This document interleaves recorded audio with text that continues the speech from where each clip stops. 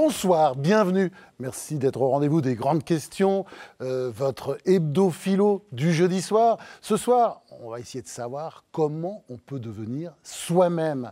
Avec euh, le transgenre, multicarte, multicarte, multitalent, hein, parce que dramaturge, je ne sais pas trop comment vous présenter, pas, Jacques Attali, pour son livre Devenir soi aux éditions Fayard. La journaliste Audrey Pulvar pour Libre comme elle, un beau livre hein, pour, mhm. Noël, aux éditions La Martinière. Et puis le sage, il a même la barbe des sages, Frédéric Lenoir, qui publie un conte pour enfants de 7 à 77 ans, euh, Le cœur de cristal, aux éditions Lafont. Face à eux, nos trois agrégés de philosophie, que les télés du monde entier sont en train de s'arracher, c'est horrible, Mazarine Pinjot, Eliette Abécassis, et Géraldine Mulman.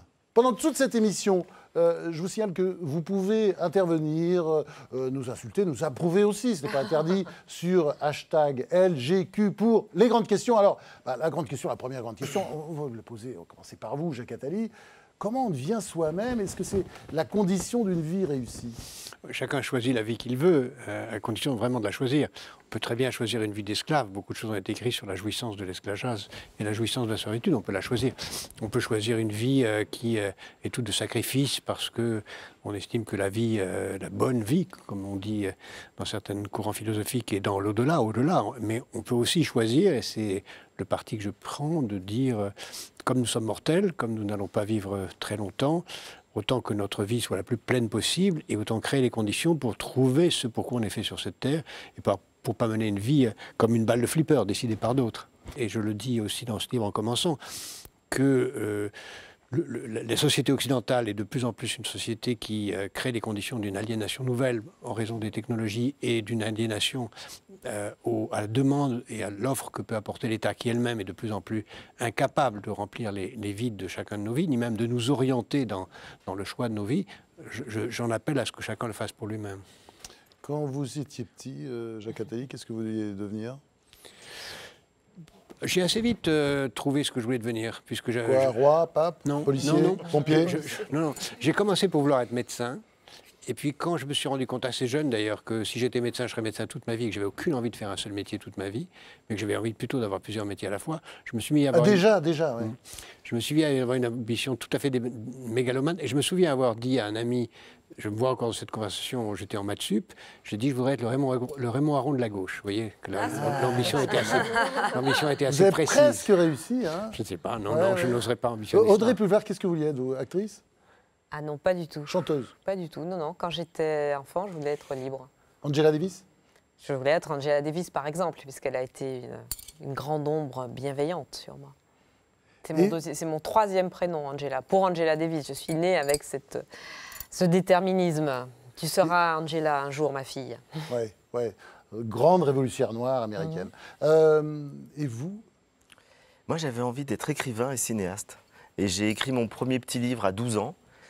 Euh, faisait une quinzaine de pages. Et je savais que j'avais vraiment envie d'écrire pour, pour euh, communiquer ce que je ressentais, ce que je vivais. J'avais plein d'idées. Et puis cinéaste, bah, c'est pas encore réalisé, donc c'est peut-être l'étape d'après. Il y, y, a quelque chose dans votre biographie qui est absolument fascinant, c'est que vous êtes passé tout près tout près du moment où vous, auriez pu être moine avec une... Euh, tout à fait, oui. Je me suis posé, bah, parce que j'ai fait tout un chemin intérieur. Je me suis vraiment, j'ai cherché, à, non, pour le coup... C'est allé très loin, quoi. Oui, bien sûr.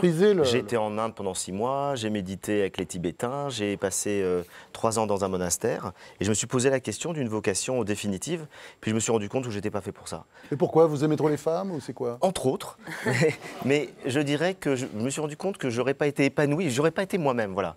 Si j'étais resté, je j'aurais vécu une vie selon un idéal mais j'aurais pas été moi-même, j'aurais pas, j'aurais brimé une partie importante de moi qui a besoin d'une communion affective. Et puis je crois que j'ai tout fait dans le sectarisme idéologique de l'Église catholique que, je ressentais dans la communauté, dans le groupe auquel j'étais. Et comme je m'étais déjà intéressé à la philosophie, à l'Inde, etc., j'aurais pas pu rester dans un seul courant comme ça euh, religieux. J'avais trop besoin de cette euh, diversité des sagesses du monde qui me nourrissait. Et du coup, j'étais en décalage. Aussi, vous êtes un grand voyageur. Les, voyages, les, voilà, les, voilà, les voyages, etc. Donc je crois qu'effectivement, j'ai j'ai mené depuis l'âge de 15 ans une vraie recherche intérieure. Bon, Jacques Attali, avant de poursuivre avec vous, Éric Mata a juste une toute petite, petite question à vous poser. On regarde. Jacques Attali, vous êtes l'alpha et l'oméga de la réussite républicaine, un Rastignac au cube, un fantasme de belle-mère.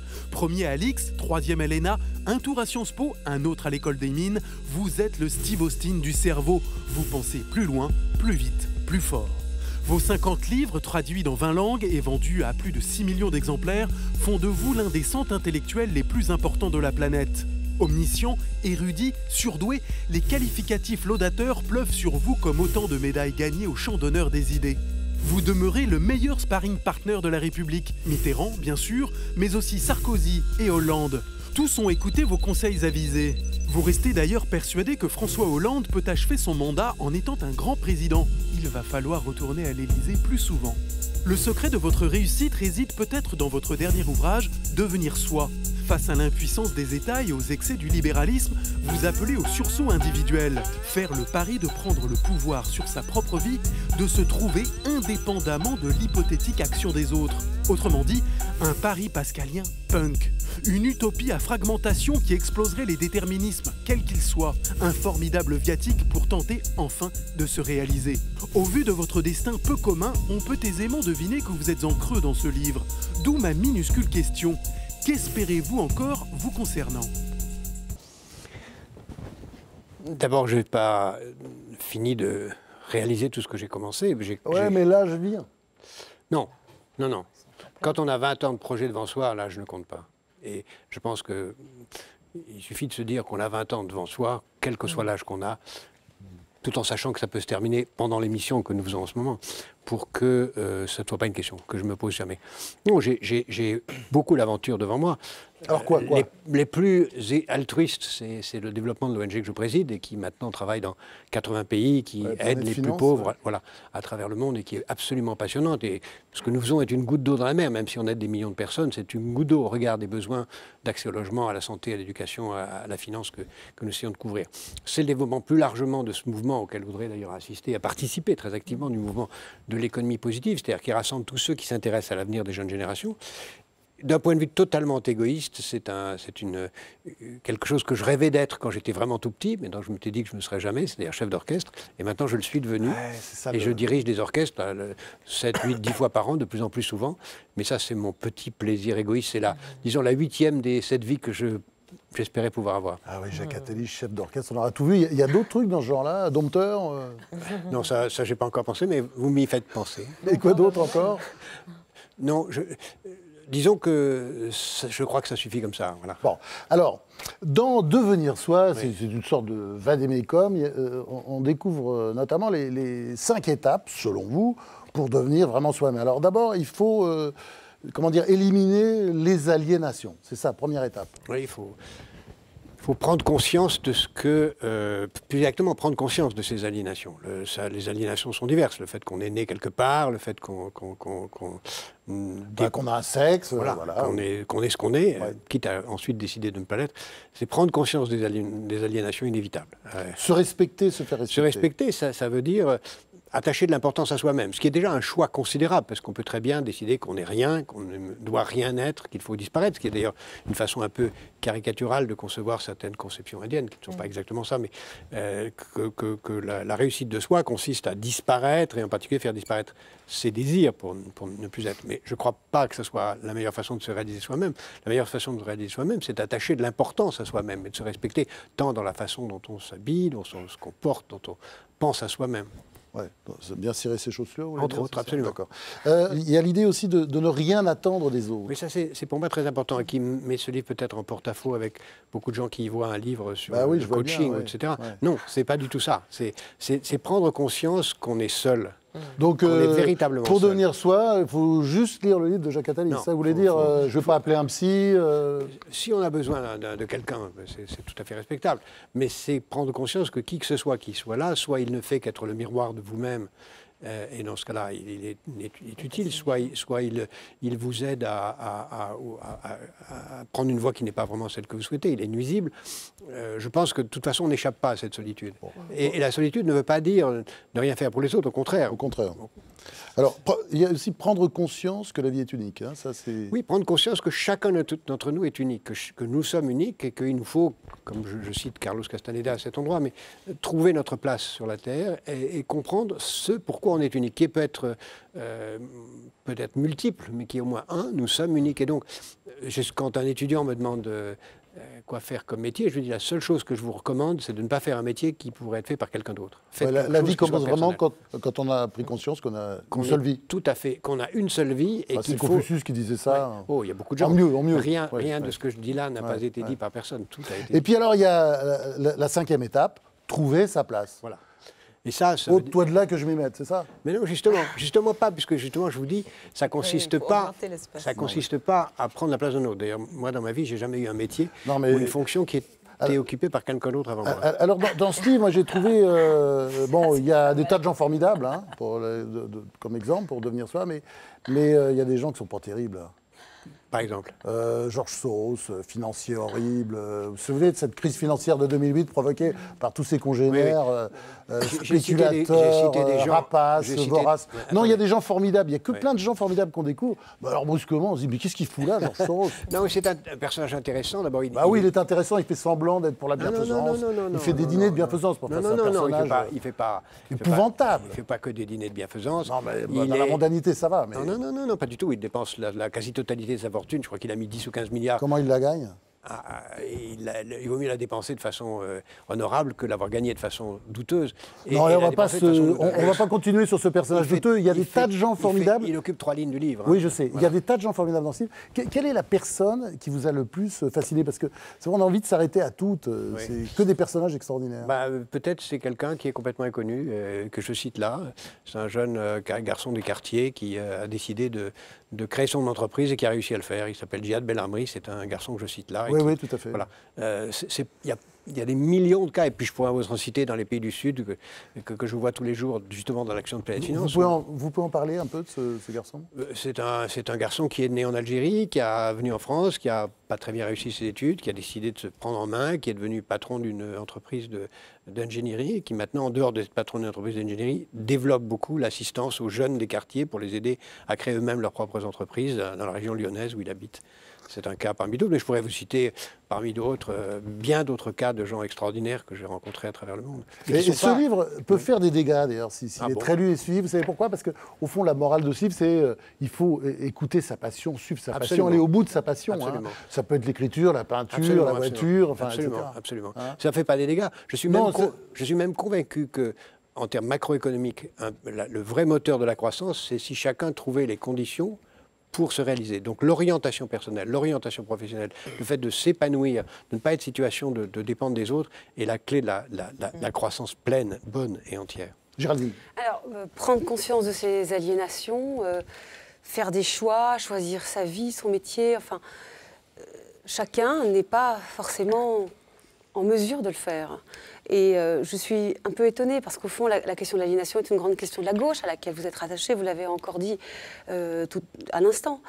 Et précisément, la gauche et les gauches n'ont jamais répondu en disant, claquant des doigts, en disant Allez, faites des choix, sortez de votre aliénation. On sait bien que c'est plus compliqué, que c'est des processus longs, et c'est pour ça, sans doute aussi, que vous avez fait de la politique, et que la politique, euh, en tout cas la réflexion sur le social, peut aider des individus parce que l'idée de se passer complètement des autres, enfin, je, ne peux pas croire que vous, vous, vous pensiez sérieusement avec votre parcours et ce que vous avez écrit avant. Donc, j'en déduis que pour avoir écrit ce livre, mais vous devez être dans un état de désespoir total sur le plan politique. Ça ne va pas du tout. Hein. C'est un peu vrai, d'ailleurs. Les deux premiers chapitres du livre le disent. Euh, je, pense qu'à l'heure où nous parlons, Iketnok, euh, la politique est incapable de répondre aux enjeux aujourd'hui. Et qu'il euh, ne faut pas en attendre plus qu'elle ne peut donner. Aujourd'hui, je crois qu'en particulier en Europe, elle ne peut rien donner. C'est malheureux, mais c'est comme ça. Et donc je dis, il ne faut rien attendre des autres, quitte à ce que, et c'est ce que je fais moi et comme beaucoup d'autres, une des choses qu'on peut faire pour devenir soi, c'est faire de la politique. C'est une façon aussi de devenir soi, que, de penser que son propre destin personnel consiste à aider les autres à pouvoir réaliser leur destin personnel. Donc je pense que l'égoïsme aboutit, dans les cas les plus parfaits, à, l'altruisme comme une façon de se, réaliser soi-même. Mais oui, je pense qu'aujourd'hui, euh, la politique n'est plus capable, a totalement échoué dans la chose essentielle, qui n'est pas sa, finalité propre d'exister pour elle-même, c'est de permettre à chacun d'entre nous de, se réaliser. Vous êtes, beaucoup d'entre vous, des, enseignants, vous savez bien que le système scolaire tel qu'il est n'aide pas les jeunes à trouver ce pourquoi ils sont faits. Alors ça devrait être ça la finalité. Je sais aussi que quand je dis à un jeune comme vous, euh, écoutez votre passion, je connais aussi la limite de la puissance que j'ai et de la puissance de, ma parole, parce que je sais très bien que s'écouter, c'est un long processus. Il faudra qu'il entende beaucoup de gens lui dire ça, et probablement qu'il ait un entourage très particulier pour qu'il arrive. Je ne crois pas qu'il suffise de lui dire Regardez Abraham Lincoln, c'est intéressant, vous devriez faire comme lui. Regardez euh, Václav Havel, et puis aussi Coluche, et Edward Snowden. il y a, beaucoup, de gens, il y a beaucoup de gens anonymes que je cite là. Beaucoup, beaucoup de gens anonymes, pas seulement celui que j'ai cité Mozart tout à c'est sûr que Mozart. Oui, mais Mozart, je suis convaincu que, des millions de gens sont morts avec le talent de Mozart sans l'avoir réalisé partout à travers le monde. quand, je, me promène en, Inde ou, en Afrique et que je vois ces, talents gâchés, ces enfants géniaux qui me parlent dans la rue et qui vont ensuite mourir de faim, j'enrage et, je, leur dis, et je le vois souvent, certains d'entre eux qui se prennent en main, qui réussissent, quel que soit. Ça, ne, sert à rien d'attendre. D'ailleurs, Mozart est, bon, est un cas que je cite dans une catégorie tout à fait particulière, c'est ceux qui ont été orientés par leurs parents dans la bonne direction. C'est des cas très rares. je cite les autres après. Je, souriais euh, à la, question, à la remarque de, Géraldine, parce que c'était pas désobligeant à votre égard, c'est simplement que cette question du désespoir, euh, je l'ai aussi beaucoup entendue, alors évidemment très modestement, parce que je ne me compare pas à Jacques Attali, mais euh, je crois aussi que de toute façon, on est, à la fin, on est de toute façon seul face à soi-même et à ses capacités et au fait de se prendre en main. Et tout à fait d'accord avec le fait que c'est un processus lent, mais c'est curieux, parce que quand on dit ça, on s'entend régulièrement répondre mais vous devez être très désespéré. Non, on peut, on peut croire dans le fait que chacun d'entre nous soit seul face à, sa, à son destin, face à l'adversité et face à ses propres capacités, sans pour autant s'isoler du reste euh, du monde. notre sage euh, Frédéric Lenoir, alors lui, il n'est pas seul, il a le ciel, la terre, le monde du vivant. Non, moi j'étais euh, comme un poisson dans l'eau en lisant le livre de Jacques Attali, parce que j'ai retrouvé tout un certain nombre, évidemment, de thématiques que, je développe. De vos héros ben, En tout cas, c'est des thématiques qui sont importantes pour moi, tant sur le travail sur soi, le travail intérieur, que sur l'engagement qui viendra du travail intérieur qu'on fait. Et c'est une idée maîtresse. Et je crois qu'on, pour, pour changer le monde aujourd'hui, il faut se transformer soi-même. On peut plus être des spectateurs passifs qui passent notre temps à critiquer, à dire oui mais ça va, tout, va mal, il n'y a aucune solution et tout. Commençons par trouver la solution intérieure qui nous permettra de faire une révolution à l'intérieur de nous-mêmes pour être plus engagés, pour être plus cohérents, pour être capable d'avoir des actions militantes à un niveau très local, etc., dans l'environnement, dans les choix alimentaires et tout. Et c'est parce que de plus en plus d'individus seront éclairés, seront éveillés, que le monde changera. Ça, j'en suis vraiment convaincu. Pinjot. Moi, je suis très frappée en lisant euh, vos, deux livres par euh, une sorte de, renouveau apologétique. C'est-à-dire que Bon, la, politique a fait faillite. Ça veut dire quoi, apologétique J'ai pas compris. non, arrêtez, vous n'allez pas à chaque fois me demander d'expliquer ce que je dis. Non, ce que je vois, c'est quoi apologétique Non, mais c'est-à-dire qu'on a, on a, on a, des discours euh, religieux. Je vais faire mon Yves Calvi, c'est quoi? Ça Religieux laïques. C'est-à-dire qu'on a des nouveaux prophètes. Vous êtes un nouveau prophète, vous êtes un nouveau prophète. de manière totalement et radicalement différente, vous faites un conte philosophique et vous, c'est le, le, retour de Jean, quoi. C'est l'Apocalypse. On a toute une première partie sur de toute façon on est fichu, euh, bon, le, climat il va bientôt tous nous tuer, euh, la politique elle n'a plus aucune espèce d'existence. Bon, donc une fois qu'on dresse un tableau totalement apocalyptique qui est quand même une des mythologies de, l'ère du temps. Hein. C'est-à-dire que c'est quand même très très récurrent comme discours. Eh ben, il n'y a plus qu'une solution, c'est redressez vous-même, redressez-vous vous-même. Il n'y a que le volontarisme individuel qui puisse, qui puisse l'emporter. Moi, ce constat, même si on peut le partager à certains endroits, je le trouve d'abord euh, pas tout à fait exact. Et ensuite, euh, je trouve que, enfin, vous êtes un gourou, quoi. En fait, vous êtes, vous êtes un nouveau gourou. C'est-à-dire que même dans le ton, avec l'emploi du futur, l'imprécation, euh, réveillez-vous, il y a quelque chose comme ça qui est de l'ordre véritable de, ouais, d'un nouvel évangile. Et je trouve que ça aussi, cette forme-là, consacre la défaillance du politique. C'est-à-dire qu'il bah, n'y a, plus, a plus de questions, il y a plus de réponses collectives collective, il ne peut y avoir que des réponses Réponse individuelles. du gourou. Je trouve ça très inquiétant. Réponse du gourou sans sa toge, hein, parce qu'il n'est pas, il a pas, mais ça viendra peut-être. Hein, C'est- avec, euh, il va c'est- venir avec des grands machins. C'est un livre écrit évidemment de façon totalement sincère et sans arrière-pensée, de, de posture, comme vous pourriez laisser entendre par votre question. J'ai eu envie de l'écrire comme ça, je l'ai écrit comme ça. Euh, il ne s'agit pas de dire aux gens réveillez-vous pour changer la politique. Il s'agit de dire aux J'ai gens. bien entendu. Ouais, D'ailleurs, c'est triste. Il s'agit, oui, oui, mais il s'agit de dire aux gens. Quand et- on dit politique, on dit attendez. collectif, hein, parce Oui, que c'est tellement dévalué comme mot Non, que non, Il s'agit de dire aux gens, et à chacun d'entre nous, y compris d'ailleurs à moi-même, parce que tout livre qu'on écrit, c'est aussi à soi-même qu'on parle. euh, notre vie est très courte. Il faut en faire quelque chose. Il faut en faire quelque chose. Et en faire quelque chose, c'est pas seulement servir le collectif. C'est d'abord, et comme le disait Frédéric très justement, se changer soi-même pour qu'en se changeant soi-même, on participe humblement au changement collectif. Parce que le changement collectif qui ne commence pas par un changement personnel, le politique qui ne mène pas une vie qui est conforme à ses idéaux n'est pas digne de ce qu'il fait. Donc je pense qu'il faut d'abord prendre conscience que euh, c'est une illusion de penser que la politique suffit à définir notre vie. Je pense aussi que l'étape de ce que j'appelle les résignés réclamants est une étape tout à fait nécessaire parce que c'est mieux que l'esclavage, parce que quand on est résigné réclamant, au moins on réclame. Et donc c'est déjà un progrès par rapport à la situation du féodalisme antérieur. Mais aujourd'hui, on passe dans un autre monde, un monde qui n'est plus celui du capitalisme dans lequel la réponse était la social-démocratie, mais on passe dans un nouveau monde, un nouveau capitalisme, une nouvelle forme d'organisation, dans laquelle il est possible, dans les fissures du système, de se réaliser vraiment pleinement et de créer les conditions pour que sa, vraie, sa vie elle-même, à soi, soit pleine et entière. Ce qui veut dire par exemple que sur la question du travail, la question n'est plus la durée du travail, c'est la question des contenus du travail. Qu'est-ce qu'on en fait? Quelle, quelle est la nature du travail? On ne doit pas se battre pour savoir si c'est 32 heures, 45 heures, 18 heures. On doit se battre pour savoir est-ce que je Bah, permets à chacun, hein? est-ce que chacun a le droit de faire un travail qui l'intéresse? Et, et- et de se C'est un trouver. peu irénique quand même. C'est- Enfin, je veux dire, très il y a- bien. Pardon, ça veut dire bien. quoi, Irénique Irénique, irénique, ça veut dire idéal, ab- absolu, etc. Mais, mais, mais c'est tyrannique et, c'est- et je crois, vous avez tout à fait raison d'employer ce mot. Je Non, crois on est que- avec des agrégés, donc il faut souvent je euh, crois que- traduire, hein, parce qu'ils sont que des chacun, agrégés. chacun a le droit de rêver et de vouloir une vie irénique. Et ce que je vois sur le vous terrain, hein, ce que je vois sur le terrain, c'est qu'il ne faut pas dire c'est pas possible, vous n'y arrivez pas. Non, je vois sur vous. le terrain que tout le monde, y compris le, paysan le plus pauvre de l'Inde, je citer des dizaines d'exemples que j'ai en tête de gens que je rencontre tout le temps, ils peuvent ven- mener une vie irénique s'ils le veulent, et, et souvent d'ailleurs s'ils sont pris par le choc du fait que c'est plus possible parce que leur mari est mort, parce que leurs enfants sont morts, parce qu'ils n'attendent plus rien de personne, et bien à ce moment-là ils se prennent en main. Eh bien je crois que Il c'est y a quand même quelques déterminismes sociaux qui Non, oubliez ça. Elia Tabekassis. Alors, euh, à travers tous les exemples que vous donnez, parce que vous faites plus une- plutôt une démonstration par l'exemple qu'une véritable argumentation philosophique qui, qui manque un peu, euh, eh bien, on voit plutôt des gens qui sont devenus autres. Et la question que je voulais vous poser, c'est qu'est-ce que le soi? Parce que le soi, ça n'existe pas, c'est une fiction, c'est un ensemble de narrations.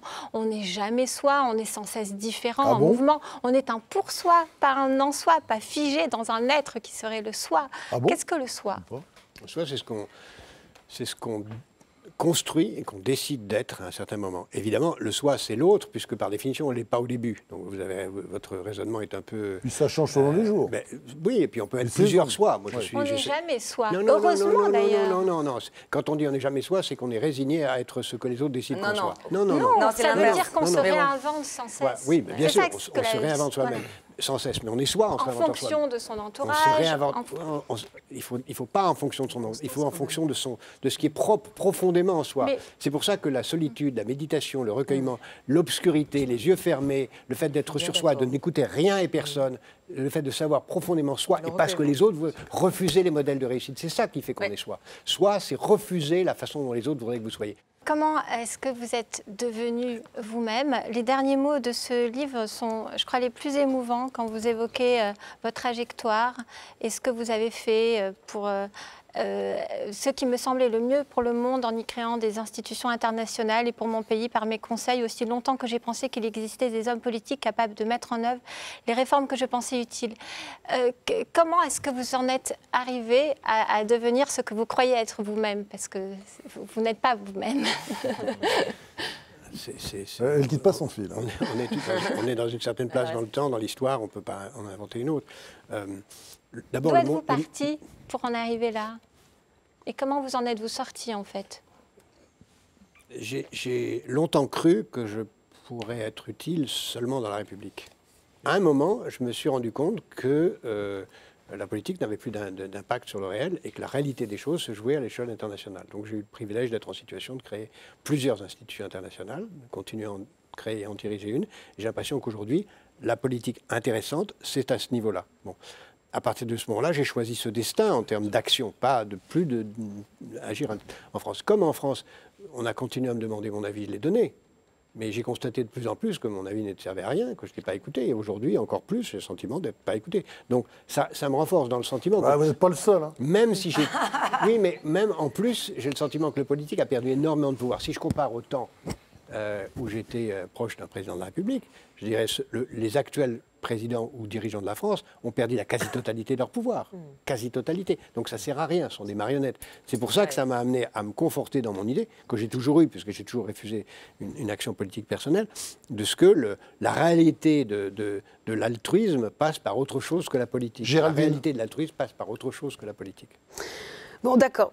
Excusez-moi, je trouve ce livre tellement étrange de votre part, je ne m'en remets pas. Euh, et notamment, il y a un point. Non, mais non, pas du tout, parce qu'il y a un autre point où, voilà, vous, vous avez lu des auteurs, vous avez écrit sur Marx et d'autres. Là, on a l'impression, quand vous évoquez les auteurs, tout le monde, mais tout le monde à penser le devenir soi. C'est-à-dire, vous citez tout le monde, Mahomet, euh, enfin le Coran, euh, la Bible, Proust, euh, tout le monde, tout le monde. Bon, et alors du coup, je, enfin, je suis désolée, là, je vais peut-être faire la prof, c'est agaçant, mais en même temps, si on le fait devant les étudiants, c'est aussi. Bah, attendez, vous êtes prof, Géraldine, hein, allez-y. Bah, oui. je, je, trouve que ça va pas du tout. Vous citez Paul, Paul, Paul de Tarse, quand il évoque la foi qui sauve. Euh, mais ça n'a rien à voir avec le devenir soi. Mais ça n'a rien à voir. Ça a au contraire à voir avec le salut, ce qui est une autre question. Quand vous évoquez, euh, quand attendez, je finis. Quand vous évoquez Platon et, qu'il dit qu'on peut participer aux choses immortelles euh, en s'élevant vers la vérité, ça n'a rien à voir avec ce que vous vous appelez le devenir soi. Et Pascal, c'est encore plus fort parce que vous citez un texte, des pensées, qui dit exactement le contraire de ce que vous commentez. Toutes vos lumières, écrit Pascal, ne peuvent arriver qu'à connaître que ce n'est point dans vous-même que vous trouverez ni la vérité ni le bien. Ah, c'est pas le devenir soi. Mais si, mais pardonnez-moi. D'abord, il se trouve que Pascal, je le connais un peu puisque j'ai écrit une grosse biographie de lui. ma surprise. J'y ai consacré trois ans de ma vie. Ce que j'essaye de montrer là, dans ces passages, c'est qu'il y a bien des façons de penser le devenir soi. Et que le, devenir soi, pour beaucoup, dans beaucoup de traditions, c'est justement de nier le devenir soi. C'est de ne pas l'être en soi, c'est de, l'être par d'autres. C'est de l'être en se réalisant autrement que dans le devenir personnel. Et, les, citations que vous faites sont explicitement faites pour ça, pour dire que dans beaucoup de traditions, le devenir soi, c'est le devenir soi dans la transcendance, dans le dépassement, dans l'immortalité, et non pas Iketnunk. Je crois que ce n'est pas le devenir soi du tout. Eh bien si, c'est une façon de penser le devenir soi, dans lequel la vie terrestre n'est qu'un passage vers un autre devenir soi. C'est dans le devenir soi et fait de la vie un, un accoucheur du réel devenir soi qui est dans un autre monde. Alors, on a un sage sur le plateau, ce serait bien de, dire ce qu'il pense de, disons, de, ce que vient de nous dire le gourou. Moi, là-dessus, je pense que vous avez tout à fait raison de souligner le fait que le, mot soi a plein de significations. Et donc, vous pointez, vous avez déjà y être pointé, le fait qu'effectivement, c'était un mot très équivoque. Euh, mais là-dessus, je rejoins tout à fait Jacques Attali sur le fait que dans les religions, que ce soit le monothéisme, que ce soit l'Inde, le bouddhisme, etc., euh, il y a la notion d'un soi supérieur, d'un homme intérieur qui se réalise par l'abandon du, soi ou du moi extérieur. Donc le soi extérieur, c'est ce qu'on appelle le vieil homme pour Saint Paul, et euh, l'homme nouveau, celui qui va renaître, c'est l'être le plus intérieur qui existe, euh, qui ne se révèle que par la relation avec un plus grand que lui. Et donc dans tous les mystiques nous disent, et d'ailleurs même Aristote... Mais le mysticisme n'est pas le tout du religieux. Bien sûr, mais, bien sûr, mais la tradition mystique spirituelle, et qui est déjà présente chez Aristote, parce qu'Aristote nous disait, si on est relié à un plus grand que soi, on s'améliore. Si on est relié à un plus petit que soi, on diminue. Et donc c'est cette idée mystique que si on est relié à un, dieu, à un divin, à un logos, quels que soient les noms qu'on lui donne, ça nous fait grandir et on révèle. Ça peut être la nature, simplement. Ça peut être la nature chez Spinoza, et on révèle à ce moment-là le meilleur de soi qu'on ignorait. Ce que saint Augustin montre très bien. Non, mais c'est le contraire. le mysticisme, c'est la rencontre avec la transcendance et avec l'altérité. Mais cette altérité nous révèle le meilleur de nous-mêmes. Et du coup émerge un autre soi avec un S majuscule qu'on trouve dans toutes les traditions indiennes, qui n'est plus l'ego, qui n'est plus le vieil homme, qui n'est plus l'homme, je dirais, qui est euh, euh, complètement assujetti à son fonctionnement psychique, mental, euh, habituel. C'est pour ça que je suis d'accord ah sur, bah, sur le fond. soi, ça, de toute Bien sûr, mais je pense que c'est là qu'est la mm. différence. Bon, là, je comprends plus rien. alors, on, va passer à, on, va passer, on va s'occuper de vous maintenant, Audrey Pulvar. Moi, je comprenais tout, mais libre comme elle, libre comme elle. Alors, avant de se poser la grande question, naît-on femme ou le devient-on Bah, Ah, J'ai envie de le- vous- poser on quelques petites questions. Par devient, exemple, bon, vous êtes né noir ou vous êtes devenu noir Euh, je pense que je le suis devenue, comme on devient femme, mais, euh, mais c'est moins problématique de naître noir, enfin de devenir noir que de, de devenir femme. Pourquoi? Parce que euh, je crois qu'il est plus facile de se libérer des assignations euh, de- liées à ma couleur de peau que des assignations liées à mon genre, ou à mon sexe plutôt, pour reprendre les- la distinction que fait Geneviève Fraisse. Puisqu'il est beaucoup plus communément admis et communément partagé euh, que les femmes sont inférieures et qu'elles sont, euh, limitées dans leurs capacités. Alors, je vous laisse maintenant entre les mains d'Eliette Abécassis. Alors, dans l'avant-propos de ce livre, euh, effectivement, vous revendiquez votre féminisme et vous relevez qu'une une femme est tuée tous les deux jours et demi sous les coups de son compagnon. En France, Et, oui. En France. Et dans, le, dans ce livre, vous parlez beaucoup de la souffrance des femmes et de la souffrance d'être femme. Parce que ce sont des histoires de libération, mais vraiment à travers la douleur et la difficulté euh, d'être militante, euh, d'être acceptée dans son pays et tout simplement d'être femme, en fait.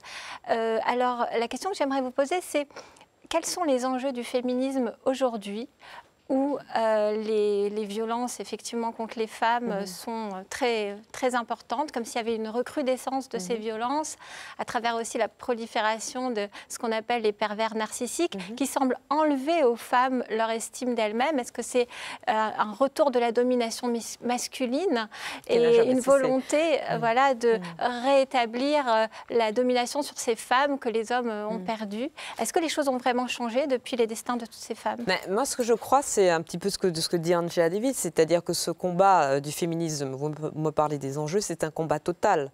Euh, et cette question de la violence, ce n'est pas qu'une une question liée à la violence physique, qui évidemment est très prégnante et, prégnante euh, et très handicapante pour les femmes.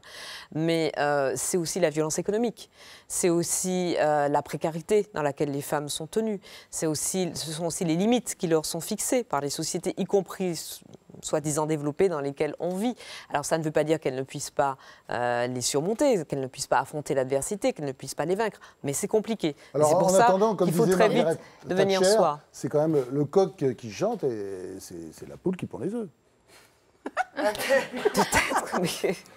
Non, Oui, mais il y a une euh, énorme. Mais c'est une je- grande philosophe.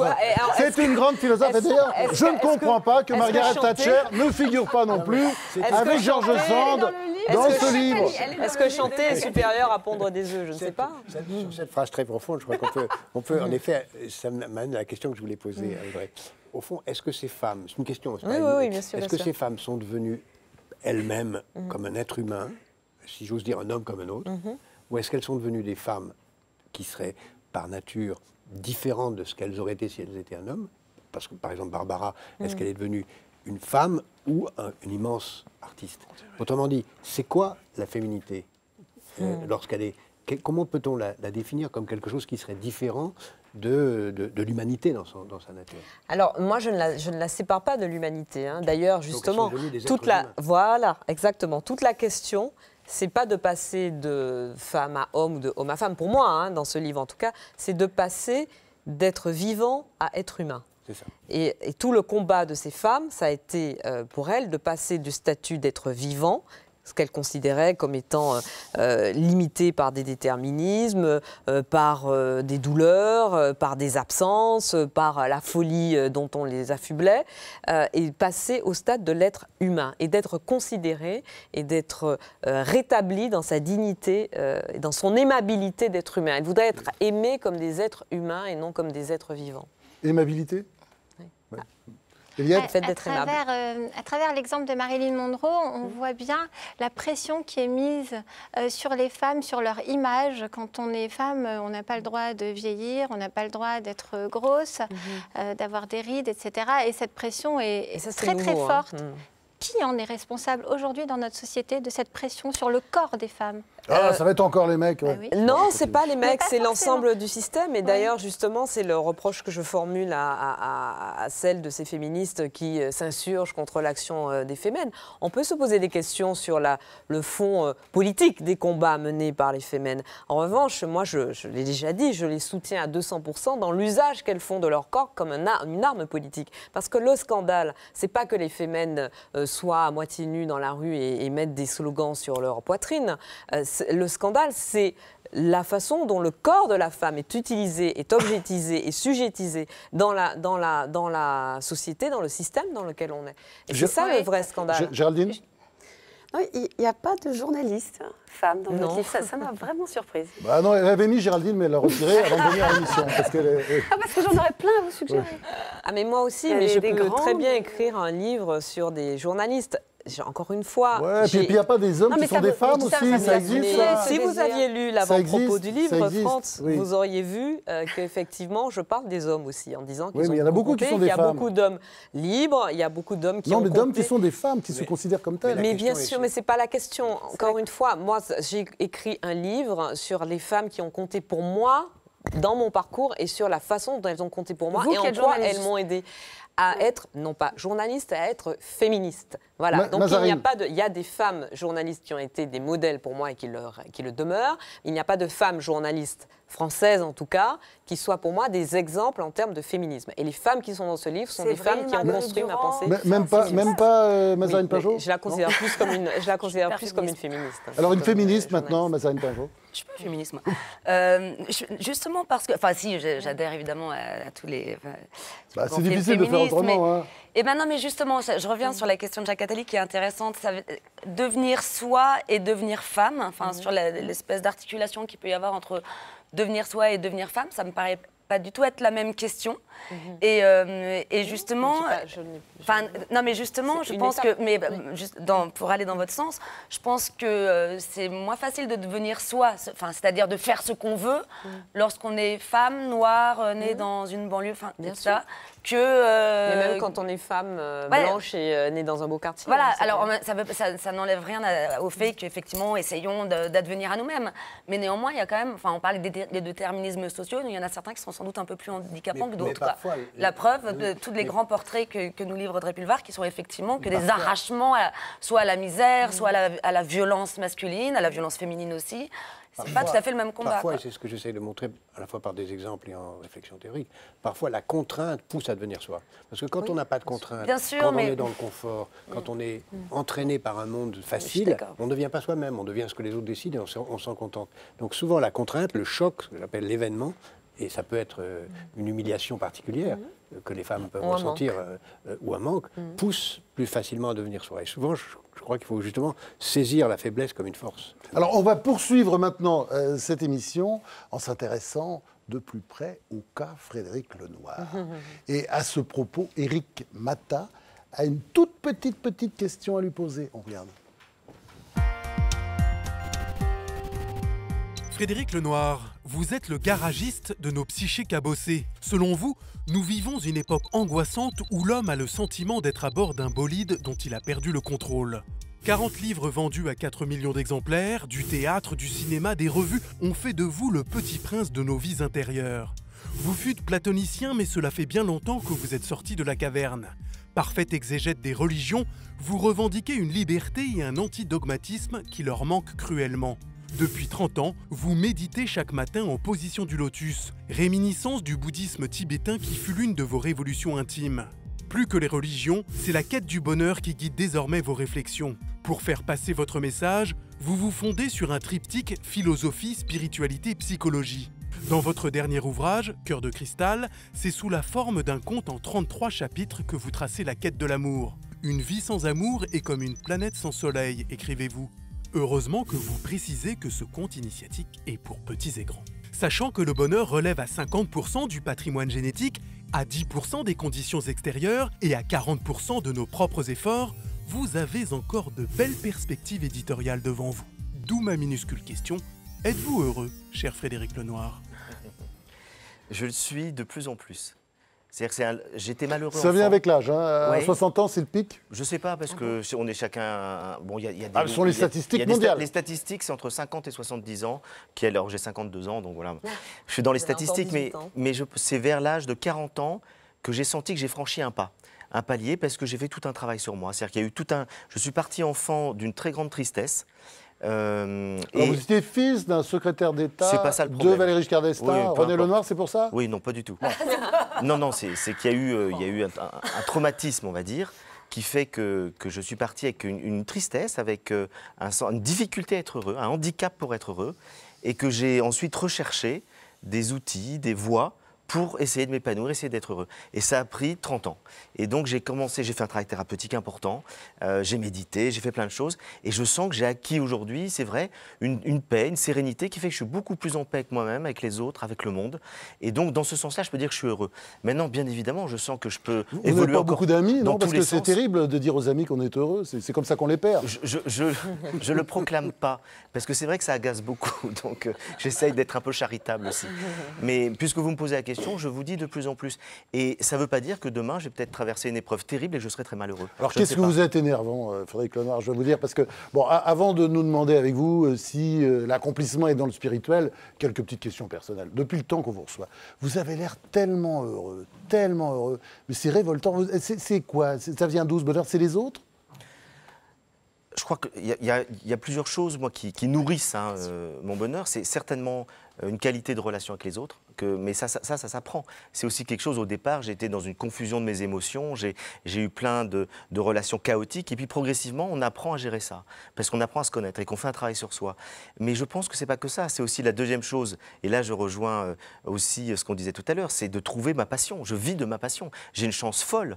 C'est que je vis de l'écriture de mes livres. Et j'ai une Non, mais liberté attendez, absolue. nous on veut des recettes, là. Des Mais- recettes, c'est pas seulement d'écrire la des bouquins. chose. C'est Alors, la- quoi? La mi- non, alors, On a la dit les autres. Je vous ai dit. Les autres, la méditation Bon, la méditation, ça participe, Ça je dirais, à une sérénité intérieure. Oui, ça, ça permet de libérer l'esprit de, de beaucoup de conditionnements intérieurs. Et Non, puis, je, alors je vais vous dire. Vous savez que les, gens vous essentielle- supportent pas tellement vous avez l'air content. je- un certain nombre de journalistes, par Vous avez du exemple, succès en plus. Oui, euh, ça, les livres marchent bien. Toujours rien. des best-sellers. C'est honteux. C'est lamentable. Je sais qu'en France, c'est lamentable. Mais, mais non, je crois qu'il y a une chose que tout le monde peut faire qui n'est pas liée uniquement à, à ce que je viens de dire. Euh, j'ai découvert, euh, et là c'est lié au sens, c'est que j'ai découvert par ce qu'on appelle la méthode Vitose, euh, lorsque j'avais à peu près 35-40 Alors ans. racontez, c'est quoi ça? C'est une méthode qui nous apprend à être beaucoup plus perceptif avec nos sens. J'étais tout le temps dans ma tête, tout le temps dans mon imaginaire, mes idées, l'intellect, etc. Pas assez dans mon corps. Et j'ai réappris à ressentir les choses. C'est-à-dire à être présent, attentif à chaque petite expérience du quotidien. Et quand je bois mon thé, je pense pas à autre chose. Je savoure le plaisir de boire mon thé. Mes sens sont en éveil. Quand je me promène dans la rue, je regarde les choses, les gens, et je suis tout le temps émerveillé. Et je pense qu'une des causes du malheur des gens, du fait qu'on est stressé, qu'on est angoissé, qu'on prend des anxiolytiques, etc., c'est qu'on n'a plus de qualité d'attention et de présence à soi-même, aux autres et au monde. C'est pour ça qu'à mon Alors, avis, la C'est-à-dire meilleure de thérapie... vivre, là, Marc Aurèle disait vivre est- chaque journée comme si c'était la dernière, Ça, vous oui. diriez vivre chaque instant, Chaque instant. comme si c'était le dernier. Plus fort que Marc Aurèle, Frédéric Lenoir. Non, c'est pas moi qui l'ai inventé. Euh, c'est déjà, c'est déjà présent chez Horace, chez les Grecs. Et c'est, mais je crois que c'est une des grandes clés, de- je dirais, de l'épanouissement, c'est d'arriver à être attentif à chaque expérience. Et du coup, on s'aperçoit que ce qui nous rend heureux, c'est notre qualité de présence à nous-mêmes et au monde. Et c'est quelque chose qui vraiment, lorsque j'en ai pris conscience et que j'ai travaillé là-dessus, quand je fais la cuisine, j'ai du bonheur à faire la cuisine parce que je ne fais que ça. Je n'écoute pas la radio en même temps, je fais pas autre chose en même temps. J'ai du plaisir, je suis attentif. Et ce qui m'a intéressé quand j'ai fait mon, mon livre sur le bonheur, c'est que j'ai travaillé sur les neurosciences. Et au fond, Gros succès, hein, je sais pas, des, Peu importe. incroyable. Ce Non, on qui va pas donner les chiffres, euh, encore plus d'ennemis. Ce qui est intéressant, c'est que les, les scientifiques nous disent exactement la même chose d'un point de vue scientifique. On a découvert, on a fait des expériences sur des individus qui sont attentifs et des individus qui ne sont pas attentifs à ce qu'ils font. Et on s'est rendu compte que chaque fois que quelqu'un est tout à fait attentif à ce qu'il fait, à ce moment-là, le cerveau va sécréter des substances chimiques comme la dopamine ou la sérotonine qui créent un bien-être. Donc on peut même expliquer scientifiquement euh, l'efficacité de l'attention. Alors maintenant, vous allez passer à la question. Avec, À la question. oui, oui. Ou, aux grandes questions avec Oui, c'est euh, Mazarine. Pinjot. Passer à la question. Alors, On peut Euh, faire les deux en même temps. C'est à l'inquisition maintenant. directement. allons- Allons encore plus vite. Mazarine Torquemada. Oui, voilà, allez, attention, je prends mon fouet. Euh, non, alors, il y a quelque chose de, de- de très intéressant sur euh, la grande question devenir soi, euh, et à laquelle vous avez tous les deux aussi répondu, c'est que devenir soi, c'est aussi euh, faire appel à, à l'autre. Pour vous, devenir soi, c'est aussi à travers des grandes figures. Et pour vous, devenir soi, et c'est là où, d'une certaine manière, on se sépare de la quête de bonheur, c'est accepter d'être malheureux. Parce que aimer, aimer l'autre, c'est aussi accepter de le perdre. Alors vous avez fait un pas de côté vers, euh, enfin un pas de côté en s'éloignant de la recherche du bonheur pour aller vers quelque chose qui serait de l'ordre plus du vivant et donc aussi euh, du deuil, de la peine, de la désespérance. Parce que, euh, parce que finalement, ça a plus de valeur que, euh, bah, que l'ataraxie, finalement, que rechercher les, les sagesses antiques, mais que recherche aussi d'une certaine manière le bouddhisme. Ça y est, vous êtes rentré dans la vie C'est fini euh Vous avez tout compris, Mazarine. C'est c'est vrai qu'après avoir fait beaucoup de recherches sur les sagesses et un travail sur la sagesse, je me suis rendu compte qu'effectivement, ce qui avait sans doute de plus important, c'est d'avoir le cœur ouvert. Et le cœur ouvert, ça veut dire pouvoir être blessé, accepter de souffrir, accepter d'être blessé. Simplement, il faut aussi pouvoir accepter que la blessure nous fait grandir. Parce que beaucoup de gens, lorsqu'ils sont blessés, ils ferment leur cœur. Et tout le, thème du conte philosophique là, que, euh, que j'ai écrit, c'est ça. Cœur de cristal. C'est ça, c'est partir de quelqu'un qui a le cœur blessé. Et du coup, il y a une gangue de cristal qui va se mettre autour de son cœur pour l'empêcher de vibrer, pour le protéger. C'est-à-dire qu'il y a comme une protection. Et combien d'entre nous, on a, on a vécu ça? C'est-à-dire que lorsqu'on est blessé dans une histoire amoureuse, dans une mauvaise relation à nos parents, etc., on se met une coque, une gangue autour de notre cœur pour ne plus souffrir. Et ce que j'essaie de transmettre aux enfants, euh, et aux ceux, à ceux qui sont restés des, des enfants, mais d'abord aux enfants, c'est cette idée que lorsqu'on vit une blessure d'amour, il ben, faut essayer de ne pas fermer son cœur, mais comprendre que cette douleur peut l'aider à aimer encore plus profondément et encore plus largement. Et donc l'amour, effectivement, c'est la vulnérabilité qui nous permet sans doute d'arriver à une forme d'épanouissement, de bonheur qui inclut profondément la souffrance et l'acceptation de la souffrance.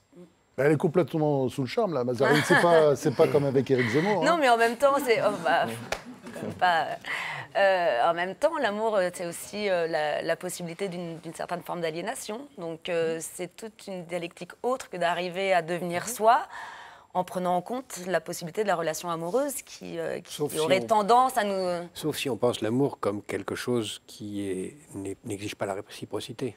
Je crois que le vrai amour, c'est un amour qui n'exige pas d'être aimé. Ah, mais alors là, on en rentre dans des Bah considérations oui, de sainteté. l'amour mais- de la mère qui ne demande pas de retour, Non mais c'est ça, mais attendez, Bah il faut du désir, il faut, il faut de la passion, il faut de la violence là. On est, est chez les morts vivants, attendez. Désir- non, non, mais en moi je remarque quand même qu'il y, a- vraiment un retour de la religion sous vos formes laïcisées. La forme laïcisée du conte, du conte philosophique, la forme que vous vous-même avez empruntée, mais lorsque vous parlez d'amour euh, sans réciprocité, on, s'appelle on la- est, on, on est vraiment dans le dogme Mais- religieux, non, non, on n'est pas dans l'amour charnel. non, non, là. Enfin, le- attendez, ne me dites pas que vous n'attendez pas un peu de réciprocité lorsque... Non, non, non, non, ça n'a rien à voir. Mais soy- soyons dans, dans la chair, dans le désir, par- parlons. euh, Euh, la générosité, disait Julien Green, ce sont des cadeaux qu'on se fait à soi-même. Exactement. hein. Bah oui. L'altruisme, Bah oui. c'est le mot qui, qui unifie tout ça dans le- la, la laïcité et le religieux, c'est l'altruisme. Et l'altruisme, je pense très profondément que c'est la forme la plus intelligente de l'égoïsme. Parce que c'est ça qui permet vraiment d'être heureux. Mais l'altruisme ne suppose pas d'attendre quoi que ce soit de l'autre. Au contraire, dans la plupart des cas, quand on est altruiste, on ne recueille que l'ingratitude. Donc l'hostilité de celui à qui on a rendu service. C'est pas grave. Il faut trouver un plaisir en soi. Alors, euh, dans, dans ce conte philosophique, effectivement, vous faites le portrait d'un homme euh, qui, est, euh, qui est enfermé en lui-même et, et qui recherche éperdument euh, une émotion, une sensation, et qui va parcourir le monde à la recherche de cette possibilité d'avoir une émotion. Euh, et vous, vous avez parcouru le monde à travers euh, toute votre recherche Enfin, de la hein, spiritualité. non, non, non, non, je pense la Kabbale, euh, pas seul- enfin, le bouddhisme. euh, vous avez voyagé. euh, Est-ce que c'est un petit peu votre histoire? Est-ce que vous avez réussi à briser votre cœur de cristal? Est-ce que c'est à travers une femme? Alors c'est complètement mon histoire. Je pense que mon cœur euh, est beaucoup plus ouvert et vulnérable aujourd'hui qu'il ne l'a été avant, mais je pense qu'il y a encore du travail à faire. Et effectivement, c'est à travers des, des rencontres de femmes. Il n'y a pas. Rencontrer encore une nouvelle femme, vous voulez dire encore Il a un mauvais esprit, Franck. Non, mais il y a le C'est- thème de la gémellité. c'est- Alors, il y a le thème de la gémellité parce Et- que, parce que le, le- la souffrance, euh, je dirais, primordiale, c'est la perte d'une sœur jumelle. Oui. Et donc, à partir de là, puisque mon héros a perdu cette sœur jumelle, euh, évidemment, il est dans la recherche de cette âme sœur idéale. Mais qui est un petit peu soi-même. Mais, mais bien sûr. Et donc, à ce moment-là, euh, toute la quête devient une quête de soi à travers la quête, la quête de l'âme sœur. Donc c'est plus une quête de soi qu'une quête de l'amour et une quête de l'autre. C'est les deux. Je pense que c'est l'autre nous révèle. En cherchant l'autre, finalement, on va se trouver soi-même. Et c'est dans cette et, et en voyageant, on va découvrir que que c'est là où on était assis que qu'est la réponse et qu'est le trésor qu'on cherchait. Alors c'est vrai que moi, je voudrais juste quand même dire une petite chose sur pourquoi j'ai voulu faire un conte pour enfants, parce que j'avais jamais fait ça finalement. J'avais fait des contes pour adultes. C'est que je suis convaincu que c'est très bien d'apprendre à lire et à écrire à l'école et tout, mais il faut aussi apprendre à vivre aux enfants. Il faut leur apprendre à se connaître eux-mêmes, à gérer leurs émotions, à comprendre ce que c'est que l'intelligence émotionnelle, à comprendre ce que peut être le respect de soi, le respect d'autrui, le bonheur, vivre ensemble, etc. Ce qu'on ne fait pas. On, a, on étudie la philosophie en terminale. Moi, je pense que la philosophie et la psychologie, c'est en maternelle qu'on devrait l'apprendre. Même pas au primaire, en maternelle. Et donc, je me suis dit, comme je ne vais pas faire un traité euh, philosophique pour des enfants de maternelle, je vais faire un conte qui est une histoire où l'imaginaire est pris, où la sensibilité est prise, à travers lequel je vais distiller tout un certain nombre de petites réflexions qui pourront peut-être aider des enfants à se poser des questions et à discerner. C'est pour ça qu'il y a des images. hein. Et c'est aussi pour ça qu'il y a des images, images. oui. des belles images d'ailleurs. Mm. Euh, Géraldine Et inversement, d'ailleurs, on pourrait dire que Perrault, Grimm devraient être traités euh, par- comme de grands auteurs hein, pour tout le monde, pas seulement pour les enfants. Surtout Je suis tout à fait d'accord avec vous. Comment? Je dis surtout pas pour les enfants. Oui. Donc, euh, ju- justement, moi j'aime beaucoup les contes et, et cette question initiatique, même, dans les romans, c'est finalement les romans initiatiques qui souvent m'intéressent le plus. Et, tout de même, il y a quelque chose d'un peu surprenant, sans doute lié au fait qu'il y a ce- ce- cette histoire personnelle derrière. Les grands contes, parce qu'on parlait de ces auteurs-là, euh, il y a souvent deux choses dedans qu'on ne retrouve pas chez vous. Euh, la question du sexe, qui est absolument fondamentale dans les contes. Euh, je veux dire, les quenouilles où on se pique, elles sont bien piquantes, où on perd du sang. Enfin, Bruno Bettelheim a analysé cela euh, très très bien, et on est sauvé d'un long sommeil par le baiser d'un prince. On, on mord une pomme, euh, on tombe par terre, euh, euh, on est chez des nains complètement asexués, et puis euh, là, à nouveau, on est, on est sauvé euh, par un prince. Il y en a beaucoup comme C'est ça. très excitant. Il faut s'arrêter tout de suite. hein, parce que- je tiens plus là. tous les contes de fées. Je tiens plus, je tiens plus. Je je L'initiation, je suis d'accord que c'est à voir avec la découverte de soi, passe beaucoup par le sexe. Et euh, chez vous, pas du tout. Donc, Quand il tombe sur cette femme qu'il croit aimer, ils passent une nuit ensemble, il se passe rien, heureusement, Heureusement, remarquez, parce que c'est sa sœur. Heureusement, parce que c'est sa sœur. Et à la fin, il décide d'épouser celle avec laquelle il n'y a pas franchement du, du- du désir au départ. Détrompez-vous, parce que Non, non, la a est une composante importante du lenoirisme. Je ne veux pas, mais je veux pas Mazarine aller plus. veux pas Mazarine a dire très plus, bien mais dit, vous insistez beaucoup, l'amour et le désir, c'est vraiment très différent et il y a une insistance dans votre écriture. Deuxièmement, dans les contes, il y a des filtres d'amour, il y a de l'ivresse, Tristan et Iseux, etc. Mais là, il y a un filtre. d'amour. Eh bien, il le refuse Alors, il il le boit. refuse, on n'a jamais vu ça. Le type, Il est puceau. Il y a une fille tout. formidablement mignonne Non. qui lui dit, qui lui dit, tu veux pas connaître toutes les formes de l'amour? Tiens, voici un filtre. Et lui dit, non, non, non, pas d'artifice. Et au passage, même chose chez vous, même chose chez vous, Jacques Attali. C'est alors euh, Barbara, on parle jamais de de, de, de tout ce qu'elle de, de, l'alcool. Euh, Janis Joplin non plus, Marilyn non plus. C'est normal, Géraldine. Ce sont des culs cousus, comme on dit dans le midi. Ils sont non, pas non, comme vous. ne Alors, dire ça. réponse- Attendez, excusez-moi. Non, non, non, Attendez, c'est l'aliénation, il faut Euh, sortir des drogues, c'est très intéressant, vous. Joplin, le portrait s'appelle Soleil Noir et tout le portrait est justement sur son addiction à la drogue, sur la, sur la façon dont on la drogue de sexe, là, hein, chemine c'est dans pas la son- même chose. Dans, dans son C'est corps. même le contraire. Le sexe, on en parle aussi, ça peut être une drogue d'ailleurs. Euh, Barbara, je parle de ses errements, je parle de ses, de, de- je parle de ses difficultés quand elle était en Belgique, etc. Éventuellement de son, de son approche de la prostitution et tout. Donc, euh, excusez-moi. Réponse de Frédéric Lenoir. Est-il si cul cousu que ça? Alors, sur le sexe, très honnêtement, euh, il faudrait que je vois si j'ai pas mis des symboles inconscients. J'ai pas cherché à créer un symbole sexuel conscient. Il a un chapeau pointu, je sais pas si vous pourrez l'interpréter comme. euh, bon, on Ah peut ouais, trouver ah des ouais. choses. Je vais euh. Voilà, faut relire. Après, il y a peut-être des symboles inconscients parce que vous savez, je l'ai écrit avec le cœur ce conte. C'est-à-dire que je- des fois qu'on écrit avec son imaginaire comme ça, on met un tas de symboles que les gens voient que vous, vous n'avez pas forcément voulu mettre. Et c'est un type d'écriture dans lequel on est inspiré, on est pris par quelque chose, et après on se dit, mais tiens, pourquoi j'ai écrit ça exactement? Ça, la première chose. Deuxième chose, sur le filtre d'amour, c'est quand même important parce que une magicienne lui propose effectivement un filtre d'amour qui pourrait faire que son cœur va s'ouvrir par un artifice. Et c'est ça qu'il veut pas. C'est qu'il dit je veux bien vivre l'exaltation une fois, mais je veux pas euh, chaque fois être obligé de reprendre un fil pour que mon cœur s'ouvre. Et donc ce- c'est contre l'idée qu'on peut être heureux par des addictions. Et je trouve que c'est mieux d'être heureux pour une, parce que son cœur s'ouvre pour une autre raison que par une addiction ou une drogue. Bon, c'est le moment maintenant du, du rituel, euh, c'est-à-dire la question euh, babachou, la question euh, complètement conne. Que je vais vous poser. Je sais que ça n'a aucun rapport avec euh, tout ce qu'on vient d'entendre, euh, cher Jacques Attali, mais sachez qu'après avoir lu votre livre, j'ai pris ma première décision depuis mon euh, dernier mariage ou mon dernier divorce, je ne sais plus, devenir enfin moi-même. Mais qui c'est qui moi-même? Hein? Impossible de savoir. Personne n'a été capable de me dire, ni mon psy, j'en ai pas, euh, ni ma concierge, j'en ai pas non plus, euh, ni ma mère, euh, qui est morte depuis très longtemps déjà. Et, mes nuits sont devenues toutes blanches. j'ai fait une grosse dépression, et puis j'ai fini par donner ma langue au chat, qui me l'a rendu juste, évidemment, pour cette émission. Alors, pour vous, cher Jacques Attali, c'est vrai que c'est fastoche de devenir soi-même. Parce que vous savez qui vous êtes, d'abord parce que vous avez vachement bien réussi. Hein, vous en êtes à combien de livres? Je suis plus 70, 80, enfin, c'est juste incroyable. Mais franchement, moi, je ne peux pas dire qui je suis. Euh, un babachou, euh, un imposteur qui fait de la télévision, une fausse valeur qui, comme euh, les mâles de mon espèce, court après sa queue, un écrivain raté, un bon à rien, juste bon à divorcer. Non. Je pense à mon avenir seulement quand il est passé, contrairement à vous, et, et je ne connais pas mon âge, il change tout le temps. Alors, qui suis-je? Ben, Je suis plusieurs. Tous ceux que j'ai été, à moins que je ne sois personne, contrairement à vous. Ma question, Babachou, comment peut-on envisager de devenir soi-même quand on ne sait même pas soi-même qui on est soi-même? Voilà.